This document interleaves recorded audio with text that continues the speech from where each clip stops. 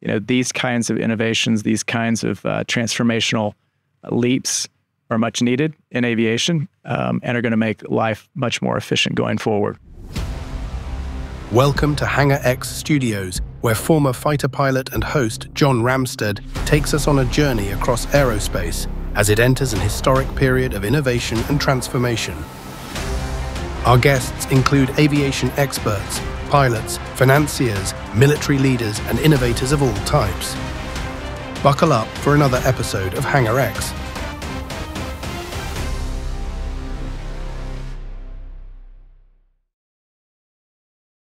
Hey, welcome to the Hangar X podcast, where we talk about the future of not only aerospace, but aerospace innovation. And you're going to be hearing some of the most fascinating guests just from their backgrounds, their history, people that are innovators, people that are developing new technology and new uses for aerospace. And today I'm really excited to have Michael Tapp on the show. He recently joined and is the head of the advisory board for XTI Aerospace. So, Michael, welcome to our podcast. Thank you, John. I'm so glad to be here.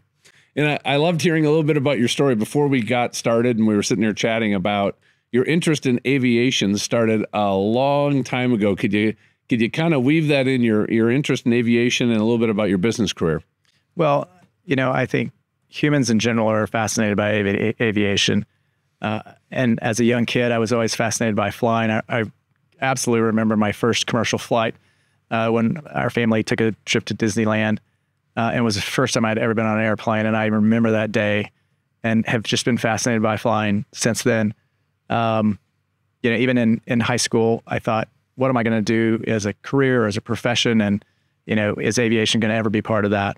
Uh, I actually started my uh, undergraduate degree in aerospace engineering because I thought, well, those guys get to fly, right? Like that'll be fun. I'm going to do something in that space. Uh, it didn't take long to figure out that the aerospace engineers do not fly they build the birds. Yep, uh, they build the birds and other people get to fly them. That's exactly right. So yep. I was like, hey, wait a second. No, no, I want to fly.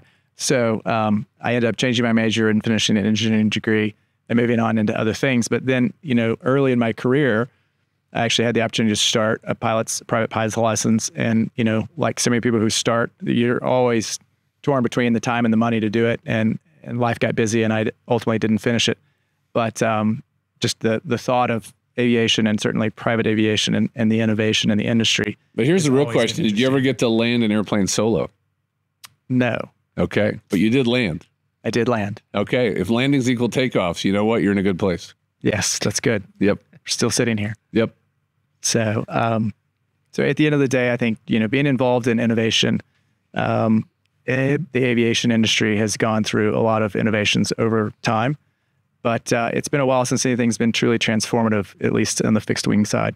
So that's one of the reasons why I think uh, XTI is so fascinating in what they're trying to accomplish. So joining the XTI, you know, the advisory board, and you're kind of looking at the space of this crossover vertical takeoff and landing as it's really just emerging right now. What are some of the things that got you most excited about being part of aerospace right now and what's happening?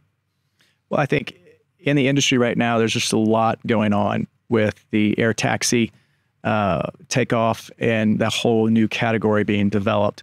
I think what's super interesting about XTI is you know, they're really blending the best of a rotorcraft um, scenario with fixed wing and and creating a new really a new air type that can uh, truly transform regional aviation. Not just short distances but but regional aviation. A hallmark of one of the things that uh, is really important to you is first of all developing deep relationships, and that's how you've always led, right through venture capital and many other things that you've done that that have led you to this point in your career. But the other thing that you are passionate about is also innovation. And when you think about innovation in aerospace today, what what are you kind of seeing if we're almost looking 10 years out? Why is innovation so important today when you actually think of the industry, which for the most part has been kind of static. There's been some improvements in maybe engines and some avionics, but there's not been an entirely new airframe or an entirely new category of aircraft developed in 40, 50 years. Hmm. It's fascinating. I think, you know, just as our society develops, the population grows, uh, our need for infrastructure and our need for mobility continues to increase. And the way that we've been able to do it historically has worked but I don't know that it is going to be as efficient as we need in the future. And so I think, you know, these kinds of innovations, these kinds of uh, transformational leaps are much needed in aviation um, and are going to make life much more efficient going forward. So here's a thought I have, just as a as we're looking at what's driving innovation right now. First of all, we're looking at our our population has grown. Yeah, right. there's such a, a density of population. We're looking at our transportation system, which is linked to our roads and our traditional airways right now, and it is it's maxed out. We were just talking to a friend of ours and when you're driving in LA, it's not about how much distance it is. It could be eight miles. Nobody nobody knows the distance. It's like no, that's either two to four hours depending on the time of day you leave. Mm-hmm. And it's getting worse and worse. And if you look at unknowable. at it's unknowable, is what he said. And uh, the the time. And we look at like we just had a hurricane, and we look at this from disaster recovery to life flight to military to just transportation in urban environments to even just getting cargo where it needs to be outside of urban environments. There's there's so much change happening right now and i think some of the best thinkers in the world are trying to solve a lot of problems.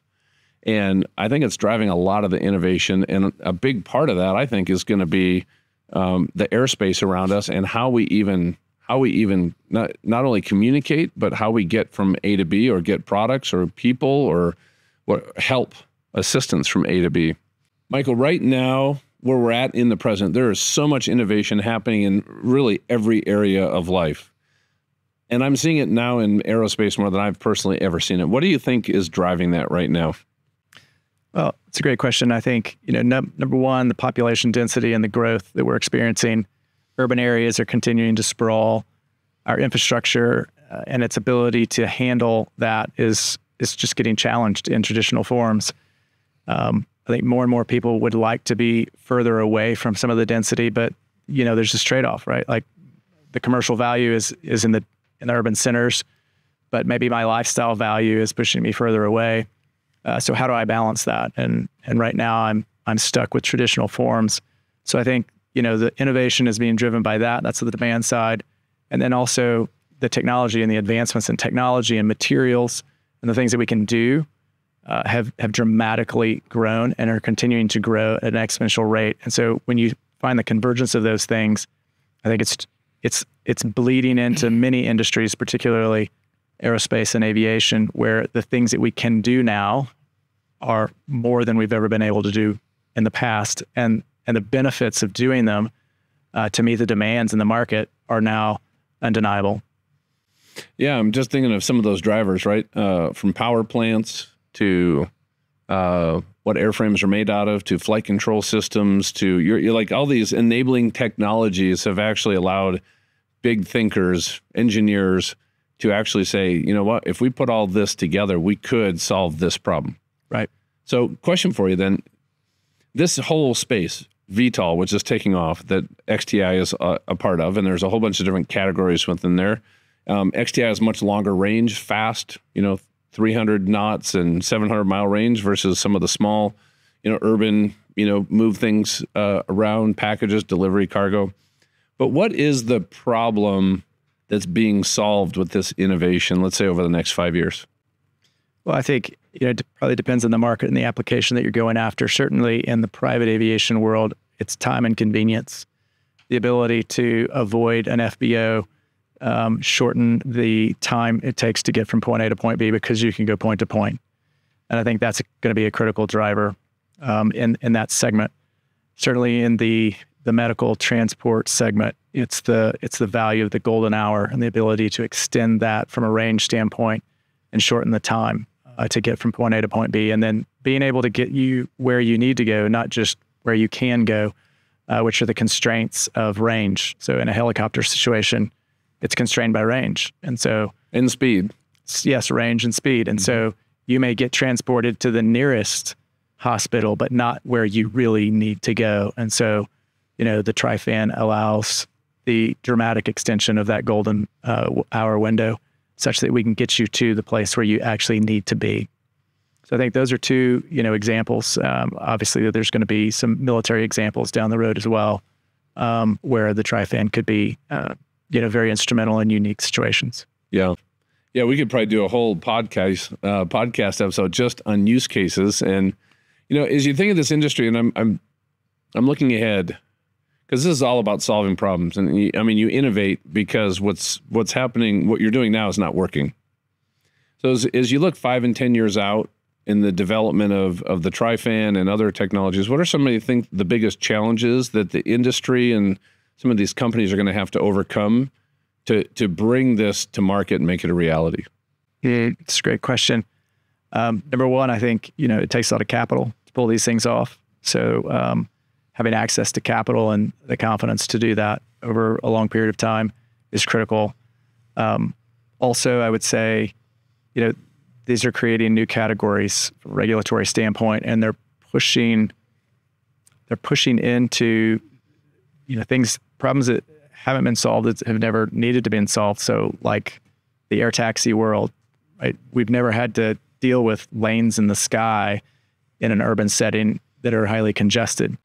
Right, All airspace controlling Yes, people coming in and out of helipad. Yeah, that's Right. the ATC is currently not set up to handle what needs to happen. That's right. So there's going to have to be a lot of collaboration and partnership across all the players and stakeholders in the entire industry. That's right. And infrastructure too. I think there's going to be some infrastructure pieces that are going to get uh, need to get built out. Yep.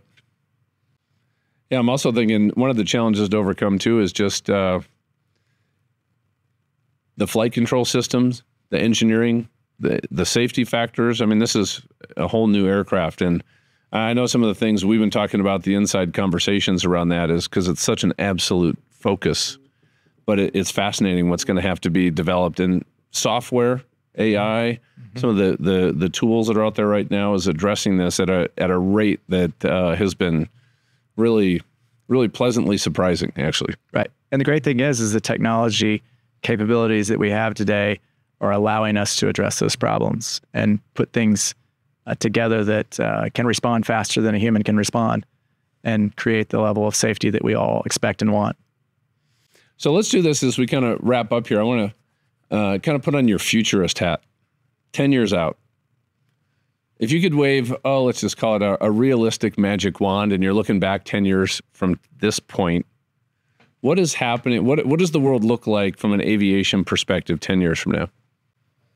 Well, I think um, the ability to get from point to point will be common as opposed to, you know, unique and special. And rare and expensive, right? That's right. Yeah. And so I think that's going to be one of the biggest things that we see change.